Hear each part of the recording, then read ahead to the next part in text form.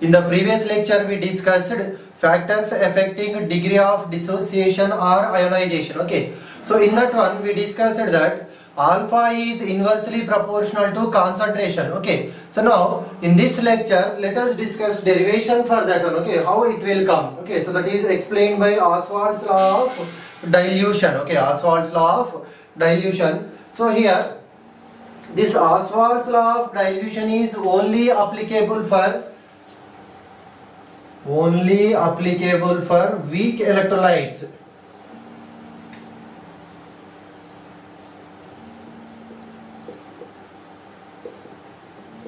Okay, so this is applicable for the weak electrolytic solutions, not applicable for the strong electrolytes. Okay, so now, so here, suppose let us take an electrolyte AB. Okay, so this is a dissolved in water. Okay, so a weak electrolyte AB that may be acid or base or salt. General case we are discussing. Okay, so now, so this one some of the weak electrolyte means that undergoes partial dissociation. Yes or no means not all the molecules which are dissolved does not uh, undergoes dissociation. Only few molecules dissociates so here we get cation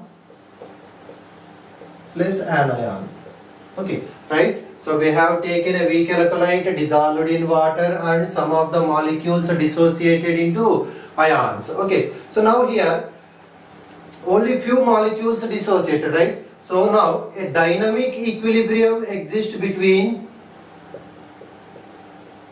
a dynamic equilibrium exists between the formed ions and the undissociated molecules. Okay. Suppose for example initially we have taken 100 molecules no ions are formed right okay so finally so at equilibrium or at equilibrium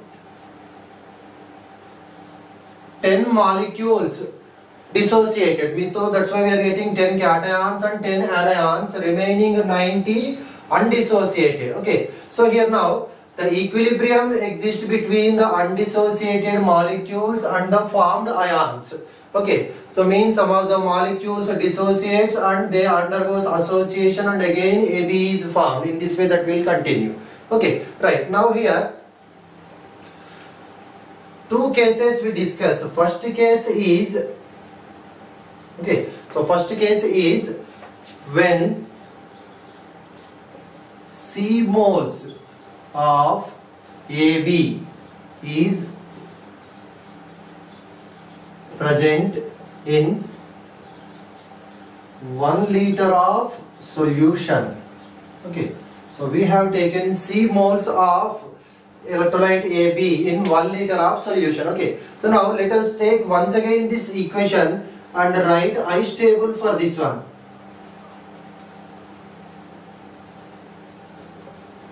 A plus plus B minus.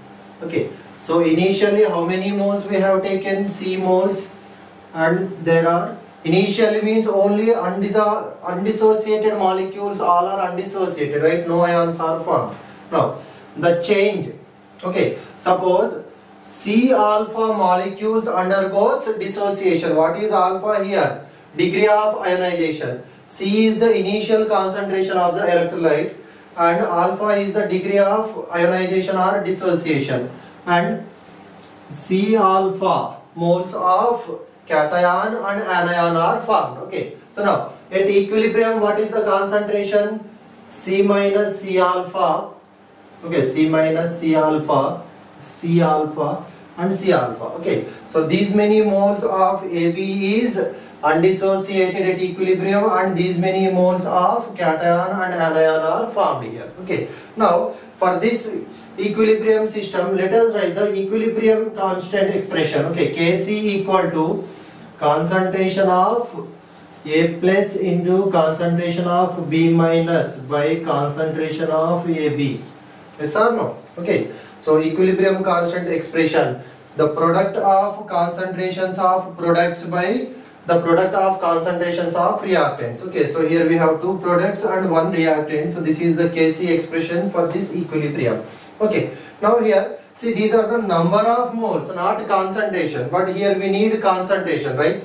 So molar moles C moles is present in 1 liter so that's why here concentration is expressed in terms of molarity what is molarity which already we discussed molarity equal to n by volume in liters yes or no n by v in liter so here what is the volume of the solution? 1 liter. So that's why molarity is nothing but number of moles. Okay number of moles equal to concentration here. Okay so now substitute here. Kc equal to C alpha into C alpha by C of 1 minus alpha. Okay, so here we are taking C common. So we get C into 1 minus alpha. So here C and C will get cancelled. So finally we have C alpha square by 1 minus alpha. Therefore, what is the expression? Kc equal to C alpha square by 1 minus alpha. Okay. So here for weak electrolytes for weak electrolytes alpha is much less than 1 yes or no so generally here if very very important if alpha is less than 5 percent okay if alpha is less than 5 percent we make an approximation 1 minus alpha is 1 most equal to 1 okay. See alpha is less than 5% that is or alpha is equal to 0.05 or less than that value then we have to neglect alpha value when compared to 1 okay so 1 minus alpha is now almost equal to 1 here okay so when we have to take this approximation if alpha is less than 5% okay so now let us substitute here therefore kc is equal to c alpha square so from this we get alpha is equal to Kc by C. Okay, square root of Kc by C. Okay, so this is the expression for alpha for weak electrolytes. Okay, so here now see Kc is equilibrium constant. Yes or no? That depends only on the temperature. So at a particular temperature Kc is constant. Right? So now so therefore alpha is inversely proportional to square root of concentration yes or no alpha is inversely proportional to square root of concentration okay so means if you do the dilution what happens? Dilution means addition of extra solvent yes or no? Upon dilution what happens? Concentration decreases that we already discussed. Okay so if dilution is we are doing then what happens? Concentration decreases so alpha value increases. Okay so more concentration, less ionization, less concentration, more ionization. Okay, so this is the relationship between degree of dissociation or ionization and concentration of the electrolyte solution. Okay, clear? So now this is with respect to concentration we are explaining how alpha changes. Okay, we can explain with respect to volume also that we discuss now. Okay, now let us see the second case when 1 mole of electrolyte AB is present in V liter of solution. Okay. So same process here also. So AB some of the molecule dissociate to give A plus and B minus and equilibrium is established and here now if you write the ice table slightly different from the previous case. Okay. So initially here we are taking 1 mole. In the previous case we are taking C moles. Here 1 mole. Okay. So 0, no dissociation initially. Now, out of 1 mole, alpha moles is dissociated. So at the same time here alpha moles of cation and anion are formed. Okay, so here at equilibrium we have 1 minus alpha moles of AB undissolved. This is the number of moles of undissolved, sorry, undissociated electrolyte. Okay, alpha and alpha. Okay, so right, if you write the Kc expression same as previous case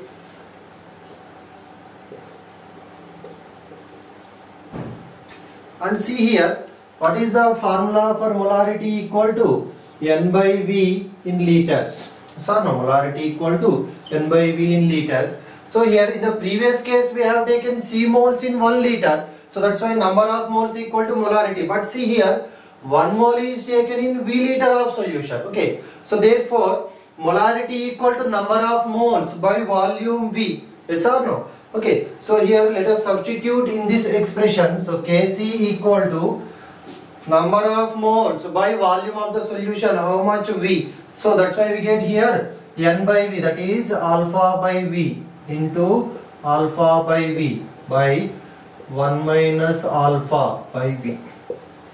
Or no? So concentration is equal to N by V in liters.